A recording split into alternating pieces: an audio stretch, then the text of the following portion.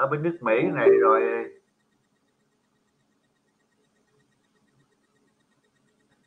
Ok. À, chẳng đó bây giờ mình mới nói. Ok anh.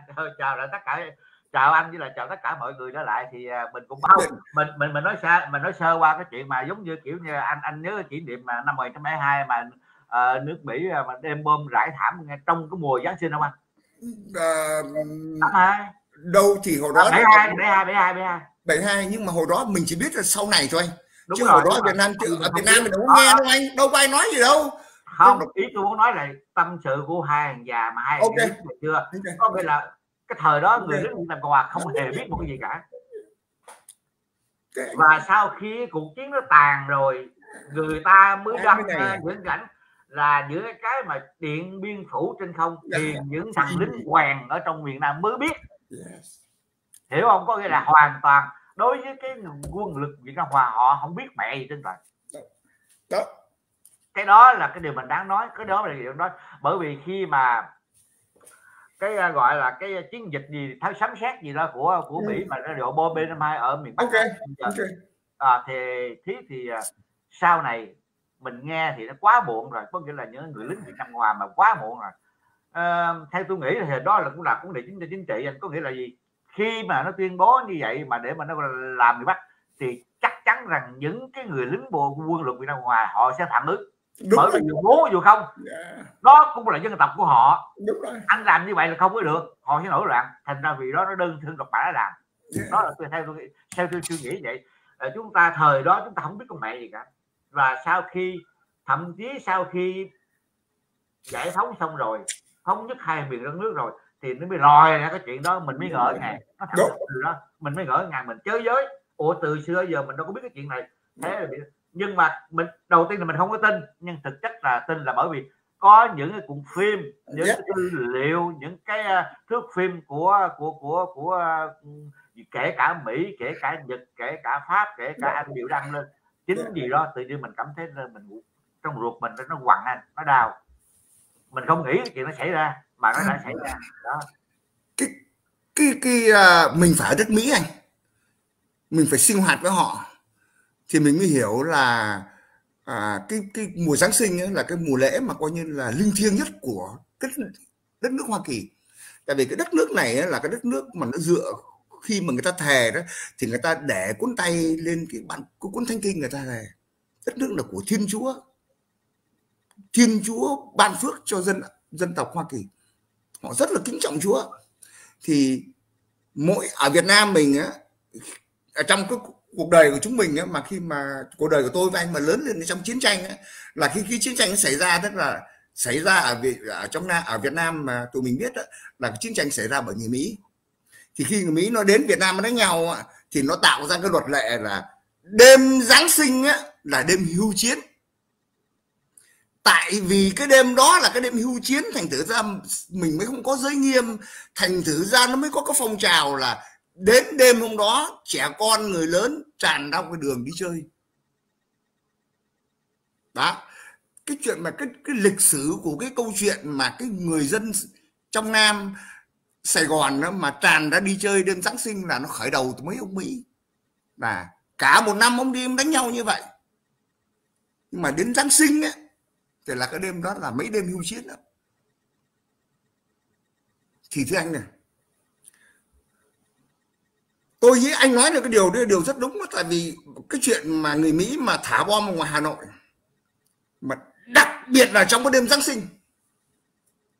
Đó mà là một tội ác kinh hoàng. bây giờ khoan hãy nói ở nước ngoài mình nói là dân ở trong Nam này không nào anh biết là nếu mà cái chuyện đó mà nó công khai ra đó anh. Tôi nghĩ là như anh nói rất đúng đó.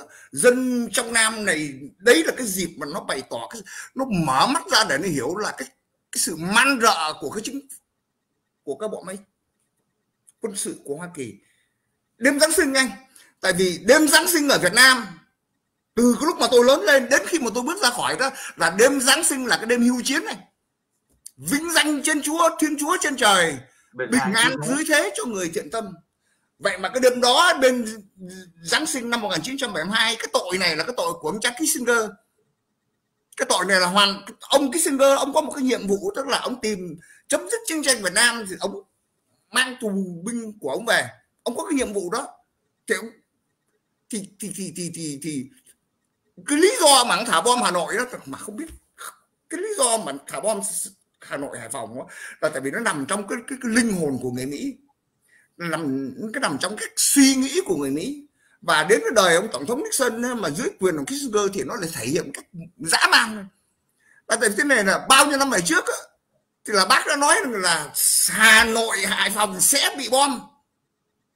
Và người Mỹ sẽ phải, người Mỹ sẽ phải thả bom B52 trên Hà Nội với Hải Phòng. Rồi nó mới chịu thua.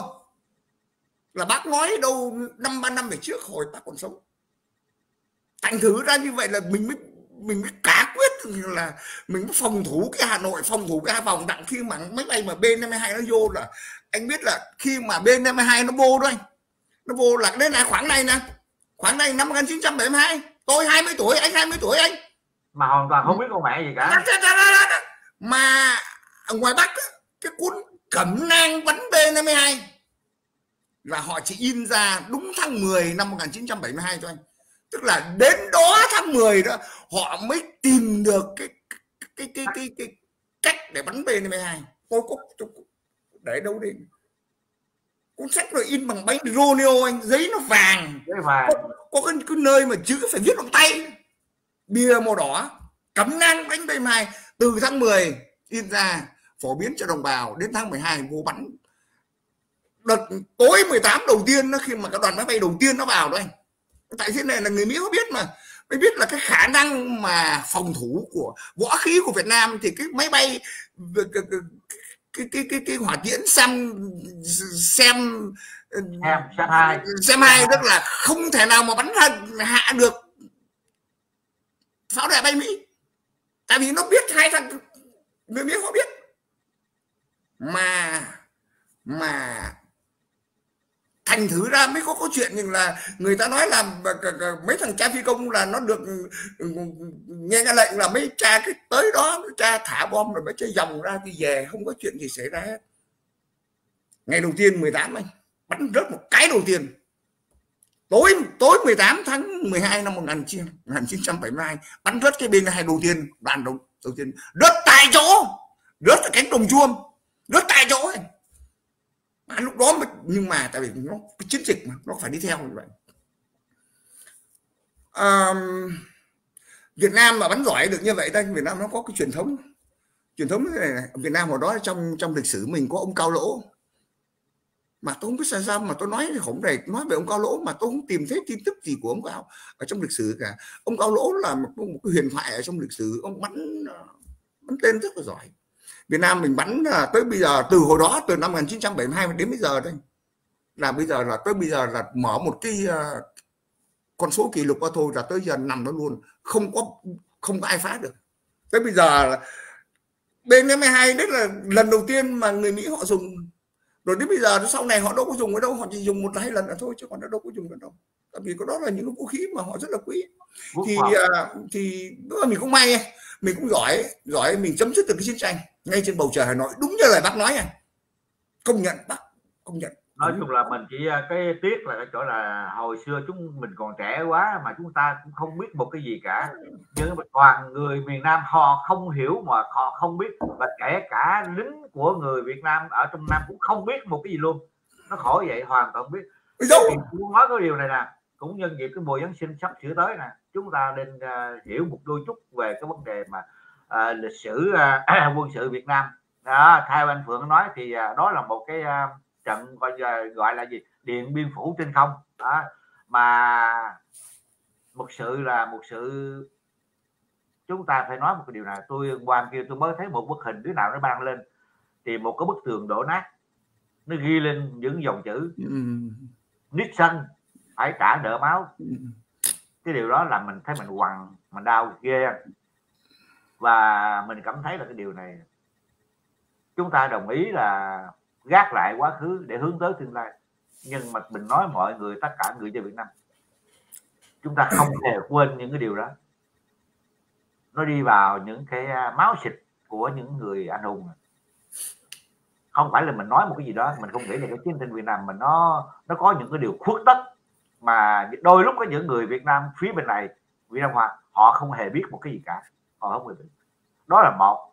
Cái thứ hai nữa là vấn đề anh nhớ cái vấn đề thảm sát Mỹ Lai không? Người Việt nói chung người lính cũng không biết con mẹ gì cả. Tôi anh cũng không biết một cái gì cả. Nhiều lắm nhiều cái vụ đó. Chúng ta đó giờ những cái chuyện mà quân đội Mỹ họ giấu nhẹm.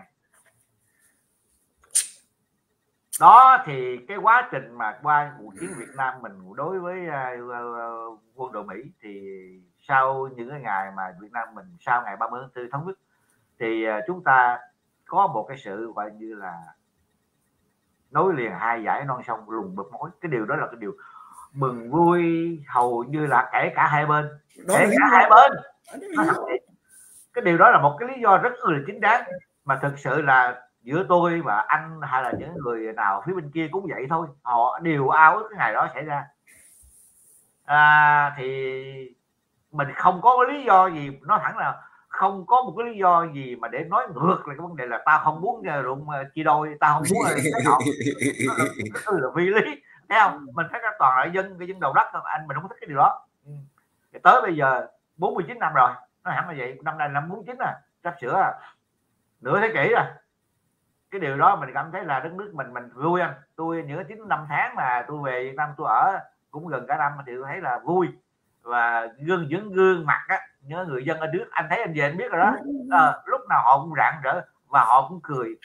Mình mình mình thấy từ cái người buôn bán mà lề đường cho đến những người họ lúc nào họ cũng, bởi vì trong đầu họ không có nghĩ tới cái chuyện mà tao gánh đây rồi chút xíu tao phải chạy cái, cái điều đó không có cho nên vì đó ra mà rất là hài lòng trong vấn đề đó. Và hầu như cuộc sống ở Việt Nam mình nó nghèo một chút đói một chút đói thì không đói rồi. Không đói. thực chất không đói rồi nhưng mà có điều nghèo chút không sao. Nhưng mà ta tươi vui ta cười. Và mình không nói qua thì cái chỉ số hạnh phúc của người Việt mình là thì có một cái tạp chí của nước nước nào không biết của thế giới đánh giá là Việt Nam là một cái chỉ số hạnh phúc. Thứ năm mà thứ cao lắm à, thứ tư thứ năm thì đó là cái gì trong khi đó 100 gần 200 nước mà Việt Nam đứng thứ ba thứ tư thứ năm mà thì anh nghĩ là sung sướng quá rồi. Muốn và thậm chí những lúc gần đây tôi coi lên YouTube tôi thấy tất cả những anh chàng tây những cô đầm và những cô này cô kia hầu như họ hài lòng với đất nước Việt Nam và họ ra qua Việt Nam họ định cư luôn ông. Họ định cư luôn. Ờ, thậm chí những cái thằng cha youtube gì đó rồi gì, gì, tôi không rành lắm đâu gì phong hay là cái gì phong râu hùng râu rồi trích châu á rồi à, có tôi ấn tượng nhất là cái anh chàng Salim. Okay. cái anh chàng Salim này là anh ảnh là người Ờ, Palestine. Palestine Palestine đó. Nhưng mà hiện giờ anh nói tiếng Việt rất là giỏi giỏi ghê. Rõ ràng mình không ngờ chuyện đó. Mình phục là cái chỗ là anh nói tiếng Việt rất là giỏi. Nói hẳn là như vậy. À ờ, chào anh tây đô chào liên nguyễn chào nga phạm nha. Chào nãy thì mình chào minh Nguyễn hưng. Khỏe không con? Đó. À, thì mình thấy là mình mình mình mình thấy là đất nước mình việt nam mình bây giờ mình cảm thấy là mình tự hào. Mình phải nói là tự hào. Và à, mình mong muốn là mình phải về mình định cư tại Việt Nam. Những à, những cái đó, cái điều đó và bởi vậy. Rồi anh nói giờ anh nói đi. Khi uh, Việt Nam mình á tôi nói nghe nè.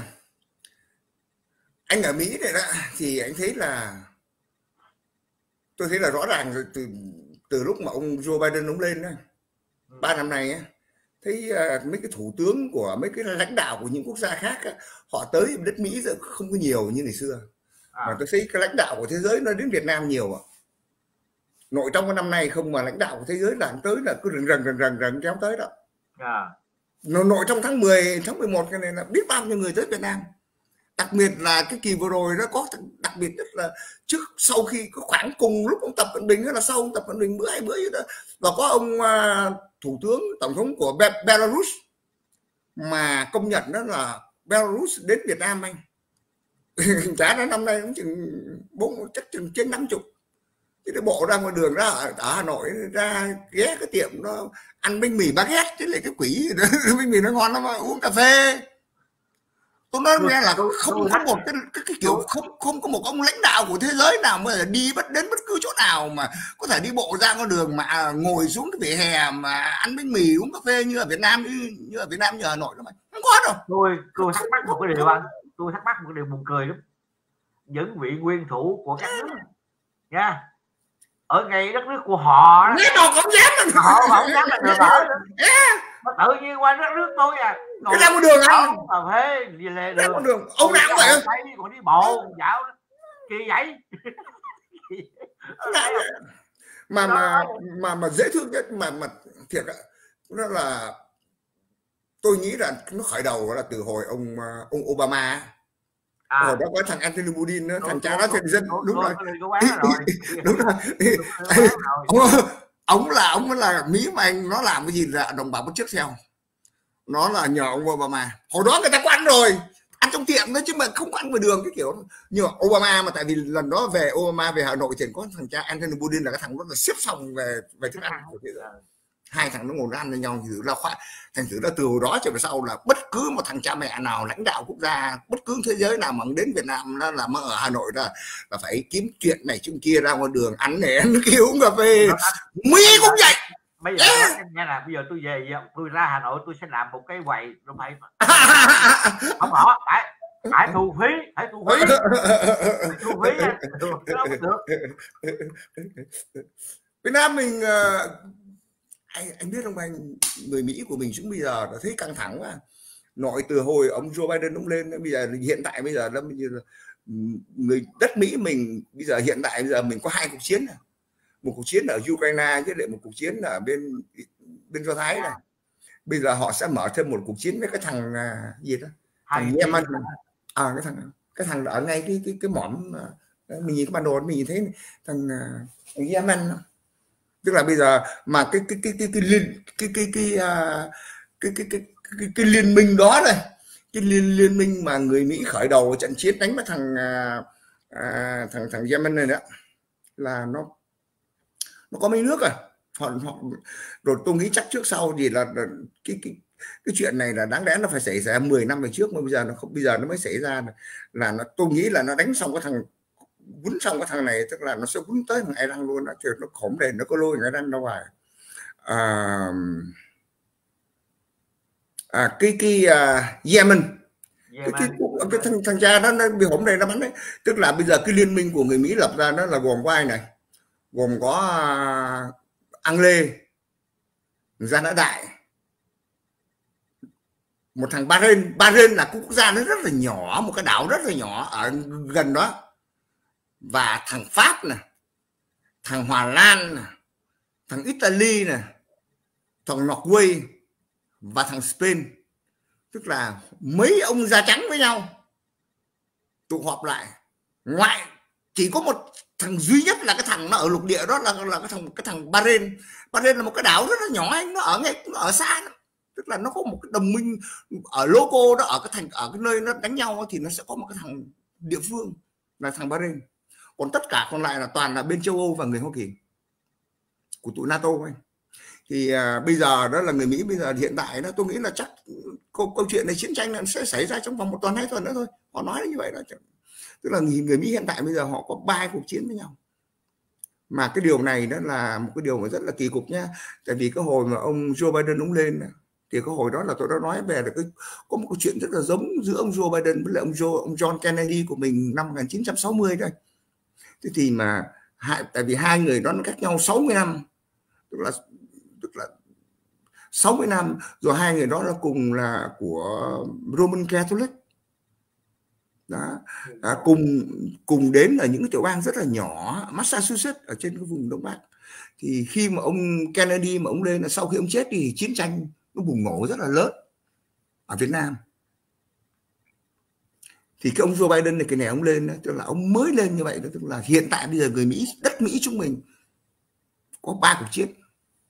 Mặc dù lính Mỹ chưa chết, nhưng mà hiện tại bây giờ quốc gia nó đang dính khởi đầu ba cuộc chiến này. Tức là tôi nói thành thử ra, đến bây giờ là tôi mới nói với anh thế này nè. Từ lúc mà tôi đến đất Mỹ này, đến đây, đến bây giờ, từ sau cái chiến tranh của Việt Nam mà đến bây giờ đây trong tất cả bao nhiêu đời tổng thống của Hoa Kỳ đó chỉ có duy nhất 4 năm vừa rồi là cái 4 năm mà của ông tổng thống ông Donald Trump đó, là 4 năm đó là nó không có chiến tranh. Rồi tại vì bốn năm đó nó lần đầu tiên là trong cái lịch sử Hoa Kỳ đời tổng thống không tạo dựng cái chiến tranh. Thì nó vừa nó vừa ngừng cái bốn năm mà không chiến tranh đó rồi nó xảy ra năm này năm thứ ba là làm như là nó bị dồn lại nó phải làm cho nhiều cuộc chiến tranh khác nhau. Ba cuộc chiến tranh bây giờ nó xảy đến cho đất Mỹ. Thì à, mình không biết đấy là câu chuyện đấy. Khi mà một quốc gia mà nó dính líu chiến tranh người dân nó rất là căng thẳng này. Tôi thấy người tôi thấy người Mỹ bây giờ rất là căng thẳng. Cái xã hội cũng rất là căng thẳng. Đúng rồi. À, mình nhưng mà đôi lúc mấy thằng già mình mình nghĩ mình nói một cách khác chăng nữa khi mà nói ra thì chúng nó hay nói là mình không hiểu về chính trị không hiểu về cái cái nhưng mà thực không? Mình mới thắc mắc cái điều là tại làm sao chúng ta phải gây chiến tranh ta? À, mình không hiểu là tại sao phải chiến tranh. Trong khi đó à, mình thấy gì? Giống như kiểu như mình anh mình tôi thì rất là nhỏ nhoi giống như con kiến vậy thôi chúng ta là người dân ở nước mỹ nhưng mà rõ ràng chúng ta là con kiến. Và chúng ta về ngó lại quê hương mẹ của mình đất mẹ của mình người Việt Nam mình đó ngay tha ngay từ từ phút này và cách đây 30 mươi năm 75 là mình mừng chết mẹ luôn. Có nghĩa là mình thấy mình thấy là mình mình hạnh phúc là hạnh phúc là ở chỗ là đất nước ta thế là chúng ta là không còn chiến tranh nữa không còn bom rơi đạn lạc nữa không còn cái là à, à, là mình mừng. Có cái làm một cái cái mình không cần biết luôn đã từng nói không cần biết là cái chuyện gì nó xảy ra không cần biết anh theo thể cái gì và anh không cần biết anh theo chủ nghĩa gì cả. Nhưng đất nước tôi không còn bom rơi đạn lạc nữa là tôi mừng rồi. Nó hẳn là như vậy bây giờ cái bây giờ cũng vậy mà chúng ta giữ vững 50 năm từ ngày chiến tranh chấm dứt tới bây giờ là mình cảm thấy mình hạnh phúc rồi. Mình không ở Việt Nam thật nhưng mà từ trong bụng mình là hạnh phúc rồi. Đúng rất là mừng rồi mình cảm mừng rồi. Mình quay lại tất cả bên nước Mỹ này mình quay các nước rồi, rồi, rồi Trung Đông mình quay qua nước châu Á thì mình cảm thấy là đất nước mình là tuyệt vời.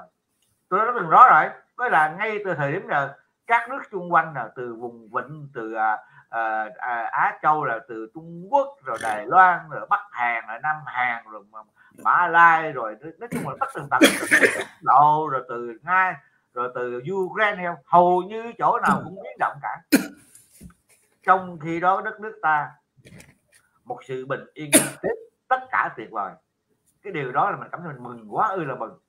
Và nhiều khi mình trong con người mình mình cảm thấy ừ tại làm sao chúng nó lại gây chiến tranh ta?